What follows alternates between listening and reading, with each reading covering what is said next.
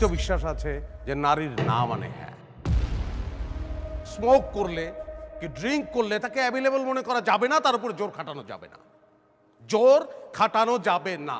সমাজের অনেক চেনা গল্প নিয়েই পাঁচ পর্বের নতুন সিরিজ মোবারকনামা। গোলাম সোহরাব দদুল পরিচালিত সিরিজটি গত বৃহস্পতিবার মুক্তি পেয়েছে। তথাকথিত আধুনিক পোশাক পরলেই কি রাস্তাঘাট বা বন পরিবহনে একজন তরুণীর শরীর স্পর্শ করতে পারবেন পুরুষ? নিজের মতো চলা একটা তরুণীকে নিয়ে যা খুশি তাই বলা যায়। এখনও দেখা যায়, কোনো তরুণী যৌন হয়রানির শিকার হন, তখন তার পাশে পাড়ামহল্লার জ্যেষ্ঠ, প্রতিবেশী, এমনকি পরিবারের সদস্যদেরও পাওয়া যায় না। আর বড় বোনের স্বামীর কাছে কোনো নারী যদি ধর্ষণের শিকার হন তাহলে হয়তো সমাজে মানসম্মান হারানোর ভয়ে ঘটনাটি ধামাচাপা দিয়ে শেষ করে ফেলতে চায় পরিবারটি। আমাদের সমাজের এমন অনেক চেনা গল্প নিয়েই ওটিটি প্ল্যাটফর্ম হইচিয়ের পাঁচ পর্বের নতুন সিরিজ মোবারকনামা। গত বৃহস্পতিবার মুক্তি পাওয়া সিরিজটি পরিচালনা করেছেন গোলাম সোহরাব দদুল। কি আছে এই সিরিজে? চলুন ঢুকে পড়া যাক মোবারকনামায়। তোর জামাই আমাকে রেপ করছে। মোবারকনামার গল্পের শুরুটা এখান থেকেই। বড় বোনের স্বামীর কাছে ধর্ষণের শিকার হন ছোট বোন সুরাইয়া। এরপর কি হয়, তাই নিয়েই মোবারকনামা। মোশাররফ করিমকে এ ঘটনায় আইনজীবী মোবারক চরিত্রে দেখা গেছে। ব্যক্তিগত এক ট্রমায় চার বছরের বেশি সময় ধরে আদালত থেকে দূরে তিনি। তাই সুরাইয়াকে নিয়ে বন্ধু বিল্টু যখন তার কাছে সাহায্য চাইতে যান, তিনি রাজি হন না। আর তিনি আদালতের পথ মারাতে চান না।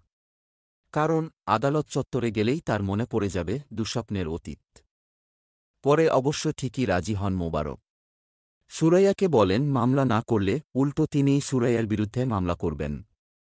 মহানগর সিরিজে ওসি হারুন চরিত্রের পর এই সিরিজে আইনজীবী মোবারক চরিত্রেও মোশাররফ করিম তার অভিনয়ের জন্য প্রশংসার দাবিদার।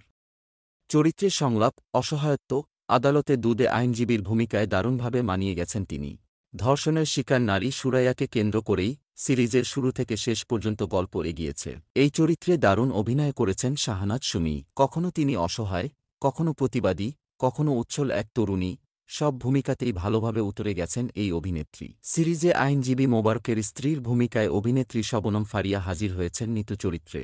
সিরিজে তার উপস্থিতি স্বল্প সময়ের, তবে যতক্ষণ ছিলেন, ভালো করেছেন তিনি। এই সিরিজ দিয়ে অনেক দিন পর পর্দায় দেখা গেল নরিন খান জেনিকে। আসামিপক্ষের হয়ে আইনজীবী সাবনীন চরিত্রে হাজির হয়েছেন তিনি। বেশিরভাগ হাততালি পাওয়া সংলাপ মোবারকের ভাগে পড়লেও মোটাদাগে জেনির প্রত্যাবর্তনও খারাপ হয়নি। তবে আসামিপক্ষের আইনজীবীর চরিত্রটি আরও শক্তিশালী হতে পারত। সুরাইয়ার বড় বোন আবিদা চরিত্রে স্বামিয়া অথই।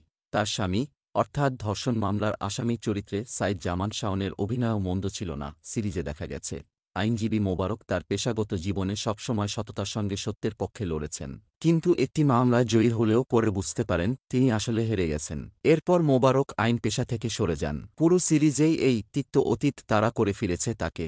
সমাজে একজন নারী ধর্ষণের শিকার হওয়ার পর তার আশপাশের মানুষ অনেক সময়ই জাজমেন্টাল আচরণ শুরু করেন। সেই বিষয়গুলো ছোট ছোট করে সুন্দরভাবে উপস্থাপন করা হয়েছে মোবারকনামা সিরিজে। এই সিরিজে গল্পটি পুরো সমাপ্ত করে পরবর্তী সিজন আসতে পারে, এমন ইঙ্গিত রয়েছে। সিরিজটি মাত্র দুই ঘণ্টার, তবে কিছু কিছু বিষয় আরও বিস্তারিতভাবে উঠে আসতে পারত।